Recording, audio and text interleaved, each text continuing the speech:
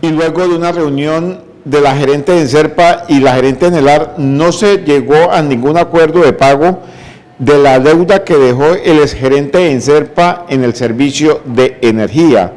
Por el momento, la empresa de energía tiene con limitación de este servicio a Enserpa. La próxima semana, la nueva gerente de Enserpa buscará una pronta solución para así tener las 24 horas del día el servicio de energía. Luego de una reunión entre la gerente de Enserpa y la de la empresa de energía Arauca Nelar para llegar a un acuerdo de pago del servicio de energía de la empresa de Enserpa, a última hora no hubo acuerdos de pago. Enserpa seguirá con la limitación del servicio de energía.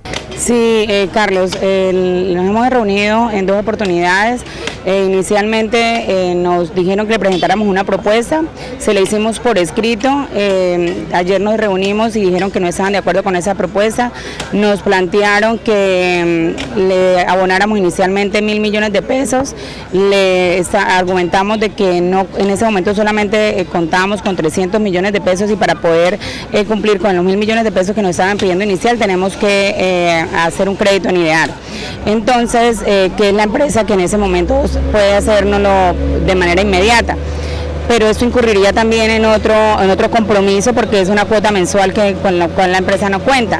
Entonces, sin embargo, eh, se le dijo que sí, que íbamos a, asumir ese compromiso, pero que el, excedente nos colaborara y lo dejáramos a 36 meses. Ayer recibimos sobre las 6 de la tarde la respuesta de que no se nos aceptaba los 36 meses, sino 24 meses. La gerente de la empresa Acueducto Alcantarillado de Arauca en Serpa, Glaisa Heredia, dijo que la empresa no puede cancelar esas cuotas en 24 meses, sino en 36 y de verdad que yo no puedo ser tan irresponsable, ir a firmar un acuerdo de pago para en dos o tres meses eh, ir a incumplir. Entonces vamos a mirar, a ver, estamos analizando de acuerdo al tema financiero que tenemos, de qué otras medidas podemos eh, tomar. Tenemos toda la intención, desde el primer momento lo hemos manifestado, eh, cosa que yo le, le, manifestaba a ella de que antes no lo había hecho, pero sí tenemos toda la intención, siendo responsable y cumpliendo con lo que realmente tenemos en estos momentos. Entonces, en ese momento vamos a analizar qué podemos hacer, pero ya se nos sale de las manos eh, a llegar a un compromiso al cual nos están exigiendo que debemos hacerlo.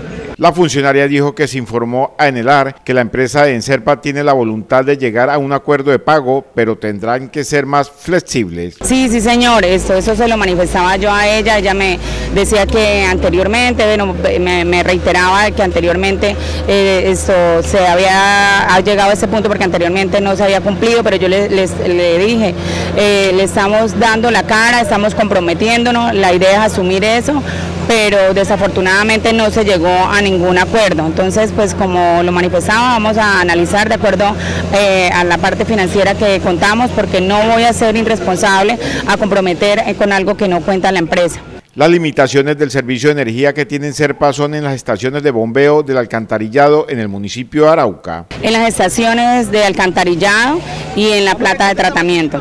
¿Y eso no puede causar una emergencia sanitaria? Sí, claro, sí señor, eso también se lo manifestaba en el oficio que le radicamos ayer a ella, que por eh, que tuvieran en cuenta y eh, por ahora, eh, eso mientras se llegaba al acuerdo, que detuvieran la suspensión, pero no ha sido posible.